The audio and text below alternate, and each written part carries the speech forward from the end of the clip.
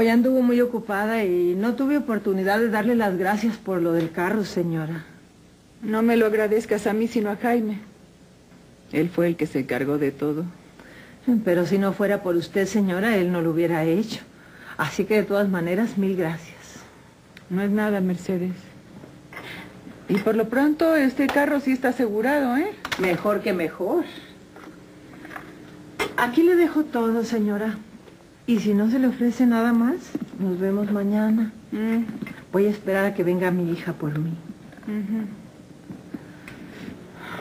Por cierto, señora, no sé si ya se decidió a tener otra enfermera. Márgara me ha estado preguntando. Ay, pues me he sentido mejor, Mercedes. No veo la conveniencia de contratar a otra persona.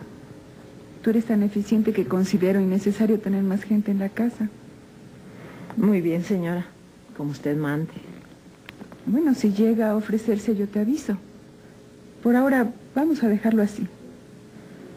Bien.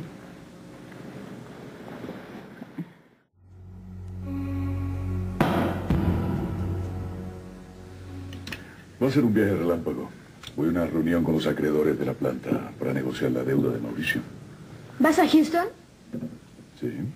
¿Te puedo encargar un programa de la computadora? No porque voy de negocios, no tendré tiempo de nada. ¿Vas solo? Sí. Si me invitas, yo podría acompañarte. Mientras tú estás en tus juntas, yo le compro a Jaimito sus cosas.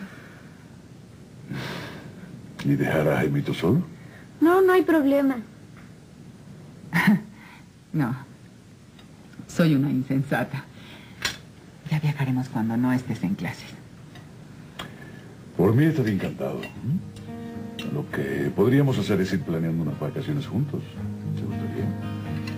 ¿Estás hablando en serio? Totalmente.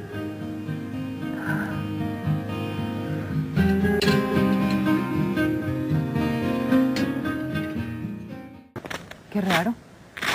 A mí Jaime no me comentó nada. Se le debe haber olvidado. Con tanta ocupación que tiene una gente tan importante como el señor Dumas, es natural. ¿Y por qué no aceptó María si mi esposo le ofreció mejorarle el sueldo? Por necia, porque ha de ser, señora. Me da pena contarle, pero yo necesito de su consejo. Dime. De unos meses para acá, mi hija trae un novio que la tiene mareada. A mí que por eso no aceptó el puesto que le propuso don Jaime. Ay, no me habías contado que María tuviera novio. Pues porque primero no lo tomé en serio. ¿Y ella? ¿Lo quiere? Ay, lo idolatra. No ve por sus propios ojos, ve por los de él. Bueno, yo no veo por qué te molesta, Mercedes. A mí me parece fantástico que María esté enamorada.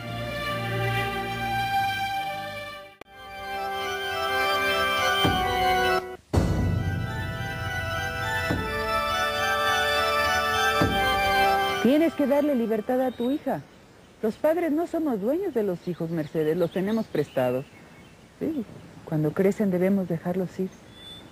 Tienen derecho a vivir su vida, inclusive tienen derecho a equivocarse. Sí, señora, pero es que no le he contado todo. Yo me pongo a esa relación porque ese muchacho tiene una familia muy rara. ¿En qué sentido, Mercedes? Fíjese, anoche me enteré que una prima con la que vive intentó suicidarse. Válgame Dios, qué tragedia. Y por eso, y por otros detallitos que no me gustan, es por lo que no quiero que María llegue a formalizar nada con él. No, en ese caso te doy la razón. Tendrías que investigar de qué clase de familia proviene un acto de esa naturaleza. Ay, va contra la moral cristiana. Te vine a agradecer que hayas tenido la buena voluntad de ayudar a Mauricio. Me dijo que te iba a asesorar en algunos asuntos. ¿No es así? ¿Y no le dijo de qué se trataba? No. Y si te soy sincera, me sorprendió mucho. Mauricio tiene la costumbre de, de contarme casi todas sus cosas. Bueno, eso quiere decir que está madurando. ¿Sabe qué mamá Sara? Yo creo que su hijo es dueño de una inteligencia desaprovechada. Hasta he llegado a creer que puede ser muy noble. Sí, cuando se convence de que uno confía en él. Así lo creo yo también. Desafortunadamente no pudo seguir con mi encomienda porque... Verá, mamá Sara, yo iba a hacerle una auditoría a Jaime. Es que estaba muy enojada con él por lo de su secretaria. Pero cambié de opinión. Me alegro mucho, Rebeca. ¿Volvieron a reconciliarse? Sí. Pero esta es la definitiva. Si Jaime me falla, me separaré de él.